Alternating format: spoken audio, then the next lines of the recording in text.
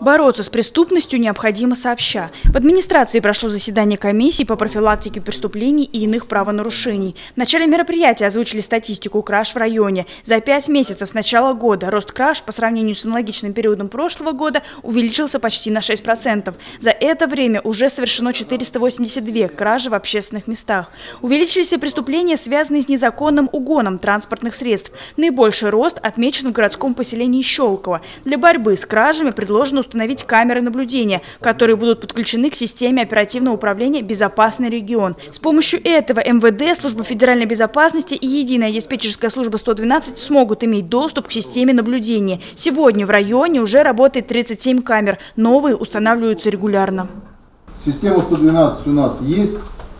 Любой сейчас гражданин, даже у которого, э, скажем так, нет денег на телефоне, на мобильном, он может с любого телефона позвонить 112, выйти сюда в единую диспетчерскую службу, единая диспетчерская служба 112 э, направит э, ваш там, или кого-то там пострадавшего вызов ну, сразу же э, к оператору, Участились случаи и квартирных краж. В связи с этим на комиссии поставлена задача провести разъяснительную работу с населением о преимуществах использования камер видеонаблюдения. Установить их необходимо и на промпредприятиях. Полиция в этом году зарегистрировала большое количество преступлений, совершенных мигрантами.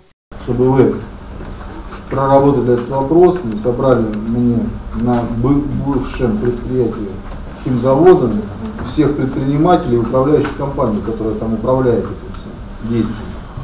в соответствии с этим мы уже добровольно-принудительно будем стараться решать этот вопрос.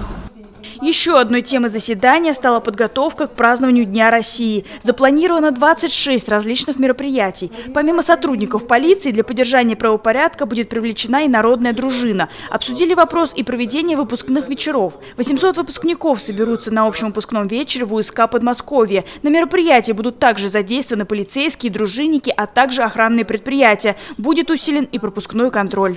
Задачи поставлены. Завтра мы полностью уже сформируем решение комиссии по профилактике правонарушений преступлений и передадим его для исполнения. Это в канун как раз праздников будет. Ну и по всем тем проблемным вопросам, которые у нас существуют в Щелковском районе, я думаю, что мы будем потихоньку выправлять данную ситуацию.